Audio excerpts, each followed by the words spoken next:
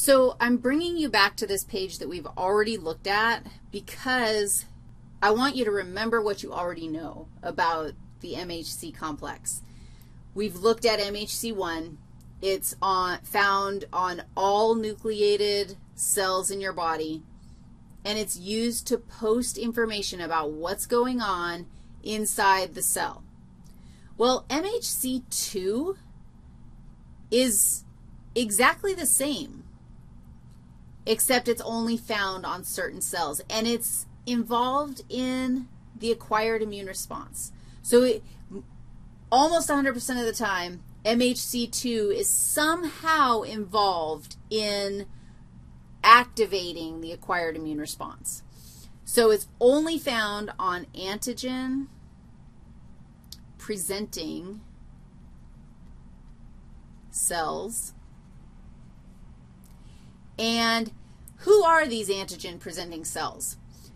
Well, B lymphocytes are antigen presenters. And we'll talk about how they use their MHC2 platform to be involved in this process. Dendritic cells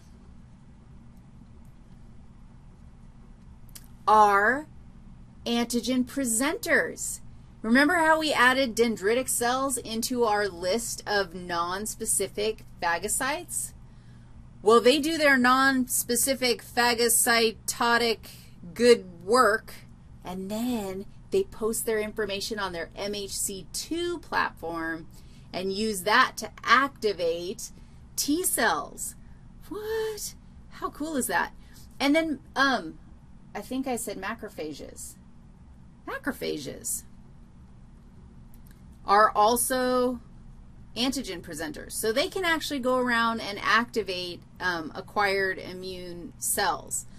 Okay, so we've got these certain cells that have an MHC2 platform. We've got everybody else who has the MHC1, and we really do need to keep those separated. Now we're going to buckle down, and we're going to look at the humoral immune response. We're going to go from start to finish. We're going to start with our little naive, little naive guy, and we're going to work our way through all the things that are involved in that humoral immune response, knowing that most of it is going to be about the B cells. Okay, so let's do that, shall we?